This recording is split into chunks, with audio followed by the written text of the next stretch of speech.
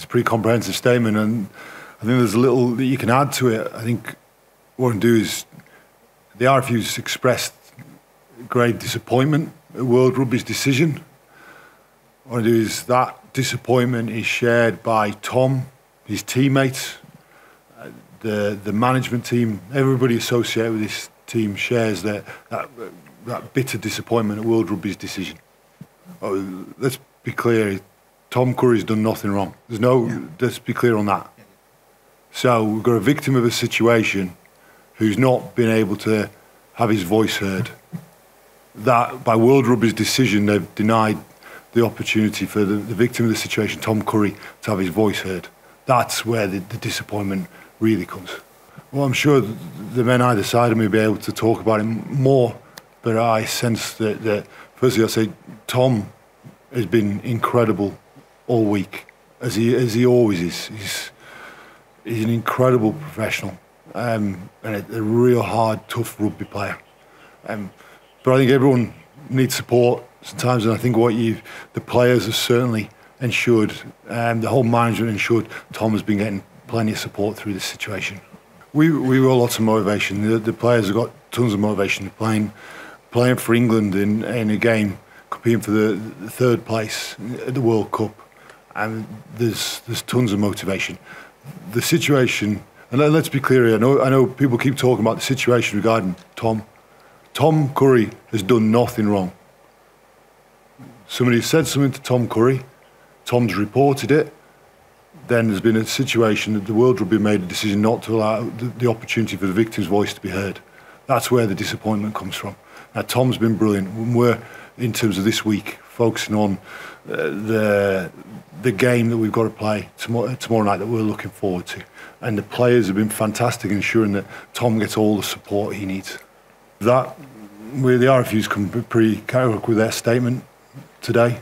As far as we're concerned, we've got a game tomorrow night and we're getting on with that.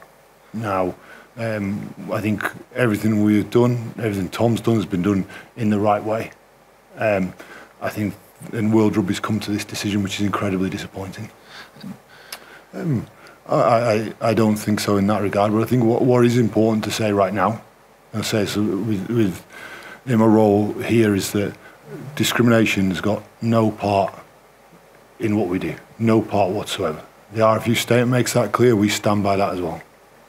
Well, first I'll say I think Tom's been tremendous. He's been incredibly courageous to do what he's done, and the manner he's done it. He's done it, you know, as Steve said, in the right way through proper channels, conducting himself in in a manner that you know he should be proud of, and his family, and definitely as teammates, we're proud of him of what he's done because to do that isn't easy, you know, to um, to make to make a statement like that isn't easy. To call out stuff like that isn't easy. And as as he's seen this week, when you do something courageous like that, you put yourself out there. Um, and he's been absolutely fantastic in that regard. Um, and in terms of how we've tried to support him, just just to be there for him, just to uh, you know, try and be there for him in any way he, he needs. Um, if he needs to talk about anything, um, you know, we're always there for him. But he's a strong man. He has a strong personality, strong will, um, and he's been, as I said, he's been great throughout the week. Uh, Tom is the innocent party in this in this respect. He's he's as Steve said, he's done nothing wrong. He's you know the victim of the situation. So for him to have this abuse is you know disgraceful. On a slightly lighter note as well, like his players, it's his 50th cap this week. Um, he's an incredible example of a, of a professional player and a and a test player. So for us as as players, we're not going to let that overshadow a massive occasion for, for him, his family, and for us. So there are loads. There's you know there's it's there's loads to be motivated about. Um, I guess from their point of view, you know, we beat them earlier. They'll probably want to turn that around.